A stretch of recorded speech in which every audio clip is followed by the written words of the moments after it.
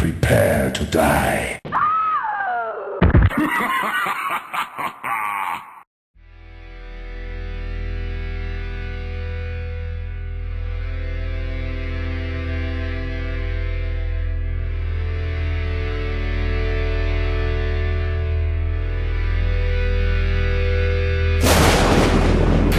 Retro Mondays.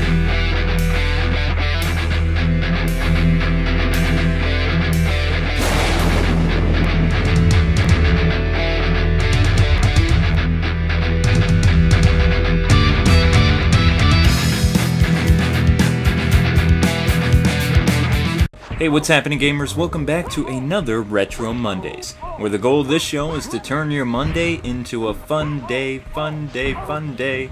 Yeah, I know, parody. Yes, there was an M rated warning. This doesn't mean I'm gonna turn into a cussing buffoon or anything like that, but it does mean that this game, even though it's old, it's pretty gory. So viewer discretion is strongly advised, because heads will literally roll. Mortal Kombat was a realistic arcade fighting game that released in 1992 by Midway and was published by Acclaim. Its sequel released in the arcades the following year, and then the fall of 94 it graced the consoles too. Now MK2 was a favorite of mine, but I wasn't allowed to own it. Still, this game and WWF and Mario Kart made for some really fun sleepovers when I was younger. My favorite character to play as was Sub-Zero when I was a kid, so uh, pardon the expression, but Sub-Zero was cool. Some people may not know this, but Mortal Kombat has a very rich plot. So our story picks up after the events of the first game. The Sorcerer has been defeated by Liu Kang of Earthrealm. Shao Kahn spares Shang Tsung and restores his youth, and challenge the Earth to mortal combat, and warp the Earth Warriors to Outworld. If Earth loses, all hope for the realms will be lost. Believe it or not, Mortal Kombat has been the dread of many parents back in the early 90s. The victories in this series were very different from that of Street Fighter or other fighters. Instead of just knocking out your opponent, you had the option of giving them an eternal dirt nap.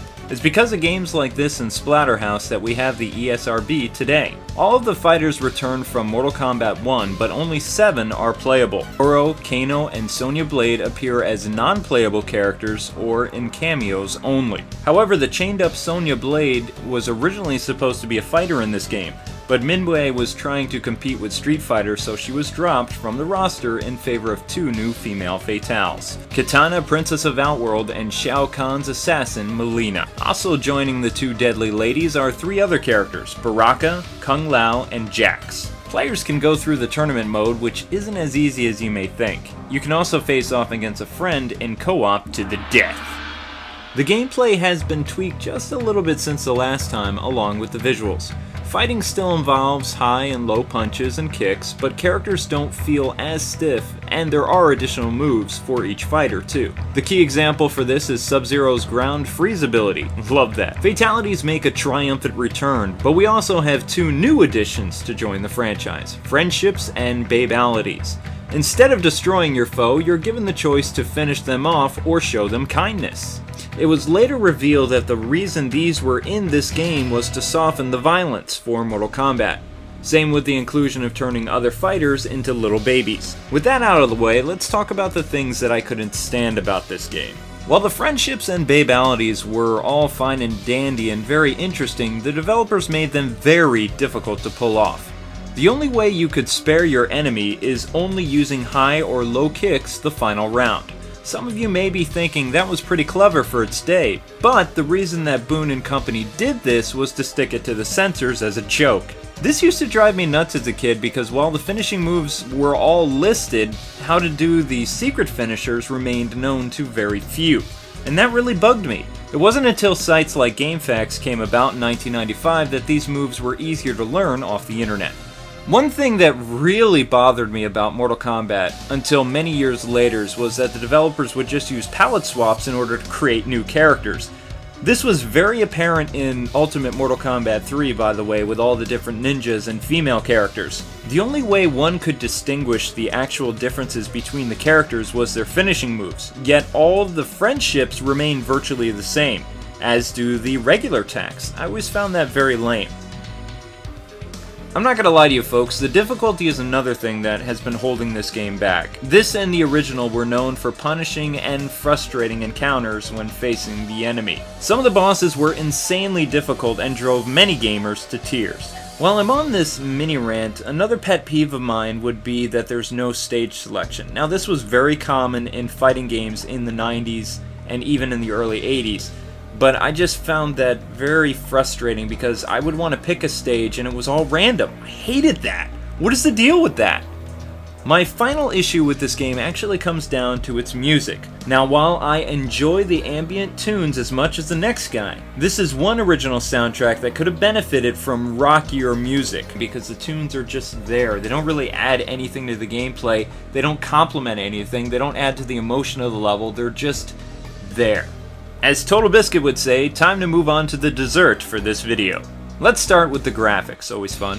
For an SNES port of the arcade game, this game looks incredible and much better than the first Mortal Kombat port. Also, you guys and gals are probably noticing that Nintendo did not censor out the blood this time around. However, they did add a warning on the front of the box to alert parental units of its content, which I think was a good idea. All the environments have rich textures and each stage is packed with so much detail. Likewise, the character sprites have also been beefed up for the SNES version and looked great for an arcade port although it wasn't until the 32X release of this game that the graphics really stood out. My favorite stages for this game are the Dead Pool, the Sky Palace, and of course the Living Forest.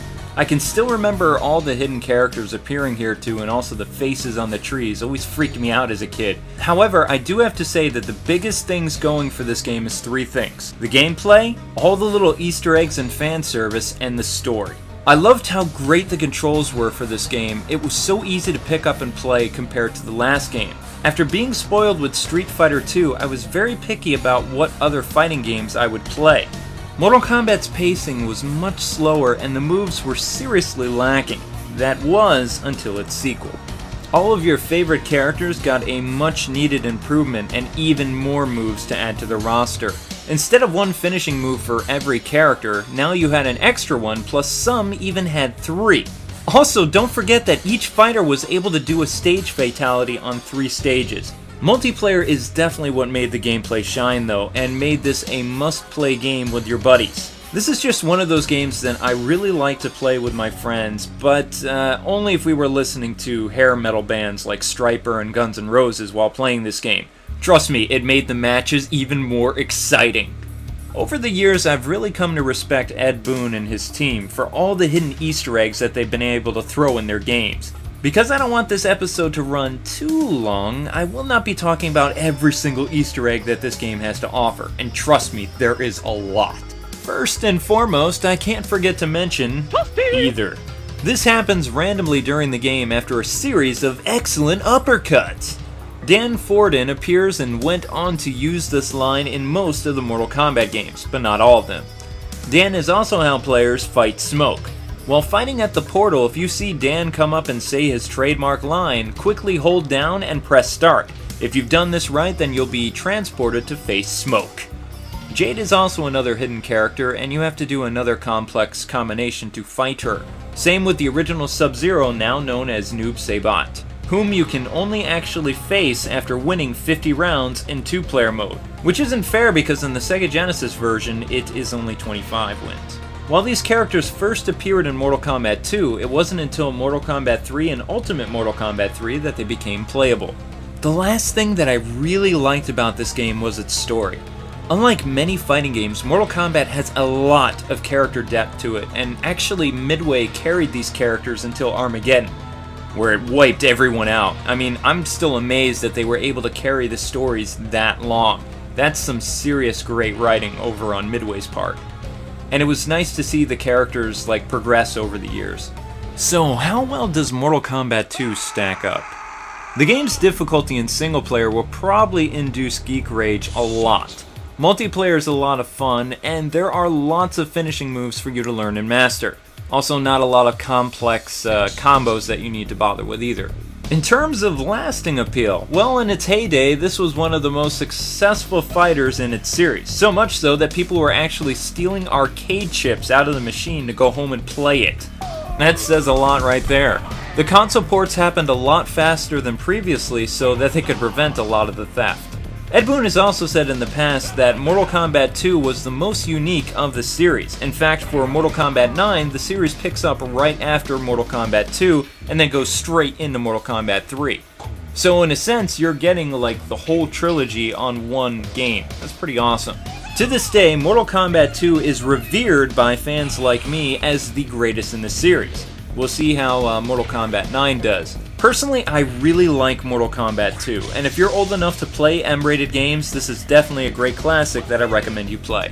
Well, that wraps up another Retro Monday. Join me next time as I take a look at NHL Stanley Cup for the Super Nintendo, kicking off on May 2nd, because I need to finish up Zelda 2 for the game station.